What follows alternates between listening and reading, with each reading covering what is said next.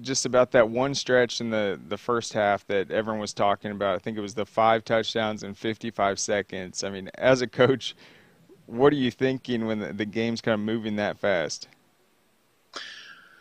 Hold on. It's like a roller coaster. You know, it's kind of like it's you know how when you get on a roller coaster and it goes click, click, click, click, click, and you're going like, holy cow, it's fixing. Uh, we're you know because you could see the explosiveness, the speed of play uh, that was after the first one. Then all of a sudden the second one.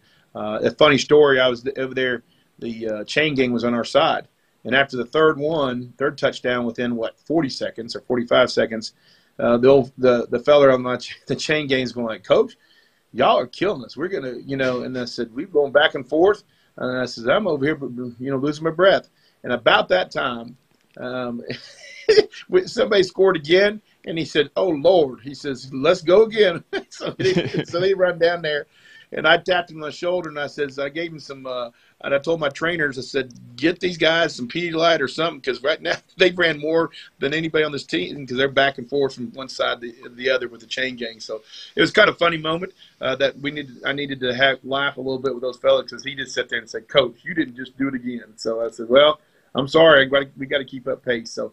Uh, it was unique, you know. I think I don't know, um, you know, Craig, if you've the more people you probably talk to in your realm, it was a outstanding game. I, I know the score got a little bit um, lopsided at the end, but you talk about I never felt comfortable, not until two minutes left in the ball game, uh, because of what they have over there as far as coaches as well as players um, and what they can do. So I think it's exciting to have that five touchdowns in five, 55 seconds, and it got people glued to say, okay, this is the last high school game in the state of Georgia. Let's go out there and have some fun doing it.